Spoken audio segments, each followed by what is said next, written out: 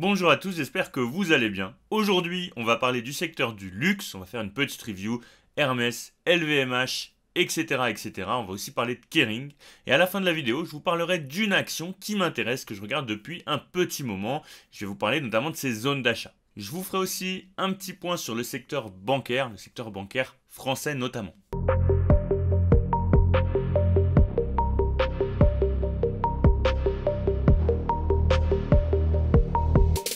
Comme d'habitude, mes vidéos c'est pas des conseils en investissement, ce que je vous montre c'est ma façon d'investir, ma façon d'analyser les actions et vous devez évidemment faire vos propres recherches avant d'investir. Avant de commencer, je voulais encore une fois vous remercier, vous êtes de plus en plus à suivre les vidéos.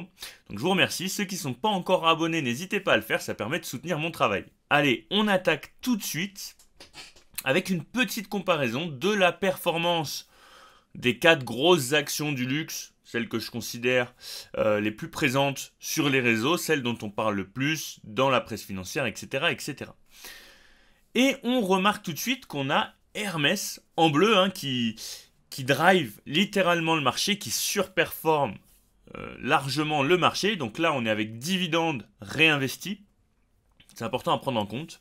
En vert, on a Christian Dior qui suit à, peu près, enfin à peu près la même, euh, perf euh, que LVMH, mais qui surperforme un petit peu plus LVMH. Et ensuite, on a Kering bah, qui sous-performe, euh, qui sous-performe largement depuis 2022, notamment avec les déboires sur Gucci. donc globalement, pour les performances du secteur du luxe sur les dernières années. On est à peu près là-dessus. Si on regarde sur les 5 dernières années, on voit en revanche que LVMH en jaune surperforme Christian Dior. Donc à plus court terme, euh, c'est LVMH qui prend le pas euh, sur Dior. Et pour Kering, vous voyez qu'on est toujours, enfin qu'on sous-performe toujours ce marché du luxe en France. Alors personnellement, je suis positionné sur LVMH en revanche, je ne suis pas positionné sur Hermès. Hermès, c'est une action qui m'intéresse fortement. Hein. Comme vous avez pu le voir, elle surperforme finalement LVMH. Euh, Ce qui me pose problème à l'heure actuelle, c'est sa valorisation. Elle est un petit peu chère à mon goût. Pour ceux qui me suivent depuis longtemps, vous savez que j'ai une approche qui est plutôt value. Euh, et un PI ratio de 52 accompagné d'un PEG de 2,17. Hein. Vous savez que pour moi, euh, un PEG, j'aime bien quand il est inférieur à 1, là il est à 2,17, ce qui est très élevé. Euh, je considère qu'on est sur une valo qui est importante au vu de la croissance potentielle de l'action, donc une action qui est potentiellement chère.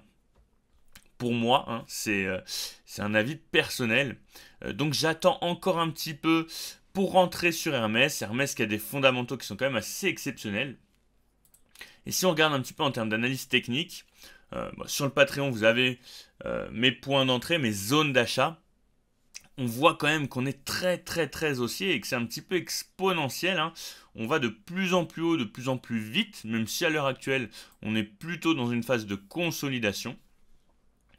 Euh, avec des supports obliques qui sont assez présents et qui sont, récurrents, hein, sur lesquels on vient s'appuyer assez régulièrement. Donc voilà, hein, globalement pour Hermès, personnellement, je patiente encore un petit peu. Euh, en revanche, sur LVMH, euh, hop, on va se mettre ici. Donc sur LVMH, euh, hop, c'est un petit peu pareil. On est très haussier. C'est évidemment moins exponentiel que pour Hermès. Mais si on regarde un petit peu en termes de valo, bon, on n'a pas non plus la même fonda. C'est à prendre en compte.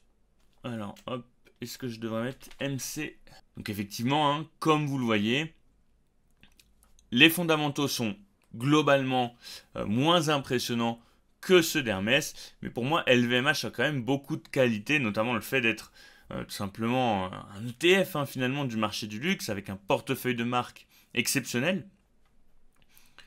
Euh, donc ça déjà pour moi c'est un point positif. Euh, après on voit aussi qu'en termes de valorisation c'est quand même beaucoup plus accessible que du Hermès à l'heure actuelle. Hein. On divise le PI ratio par deux très largement.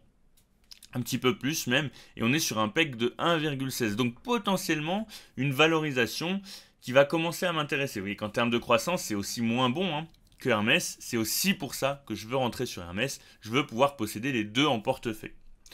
Euh, globalement, pour LVMH, euh, vous savez que j'ai un PRU qui est autour des, 804, euh, 680 euros. Pardon. Je suis rentré assez récemment hein, sur, sur le dossier.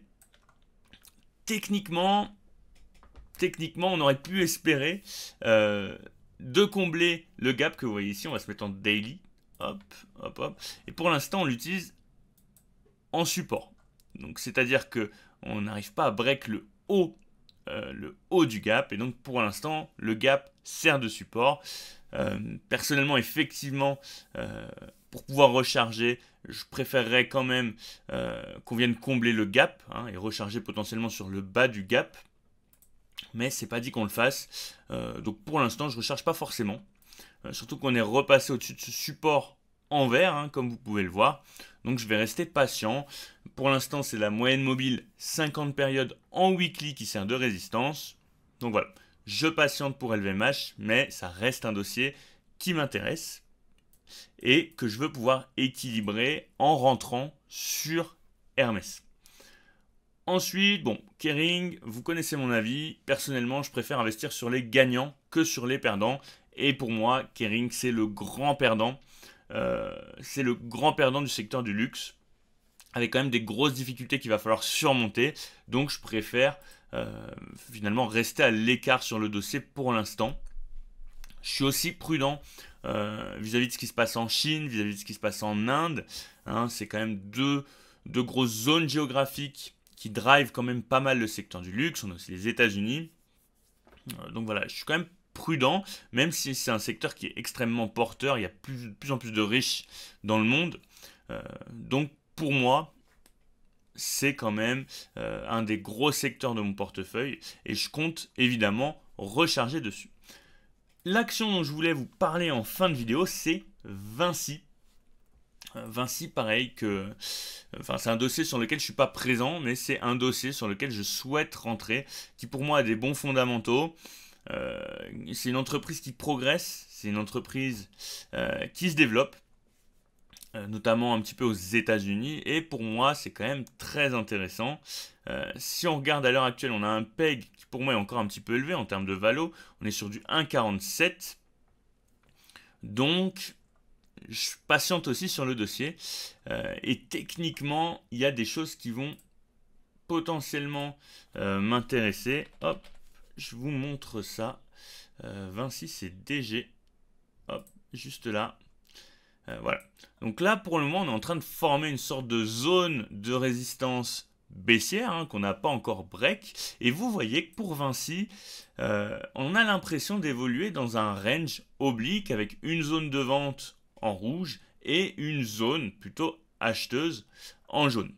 Donc moi, évidemment, ce que je vais jouer, c'est un potentiel retour sur l'order block acheteur qu'on a juste ici et, si possible, euh, la zone d'achat oblique qu'on a en jaune.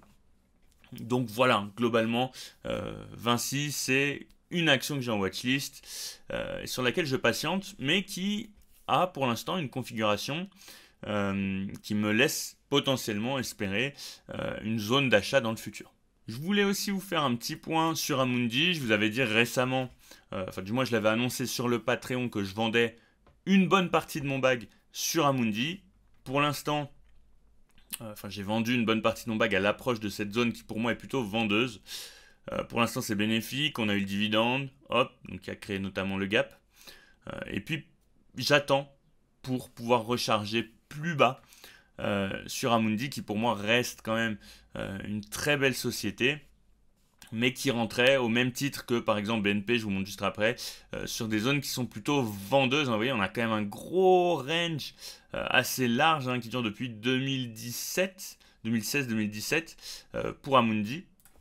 On a une config un peu similaire sur BNP avec, hop, vous voyez, une zone plutôt vendeuse ici, une zone plutôt acheteuse euh, là. C'est pareil, hein, c'est là, c'est depuis 2008, hein, donc depuis la crise des subprimes.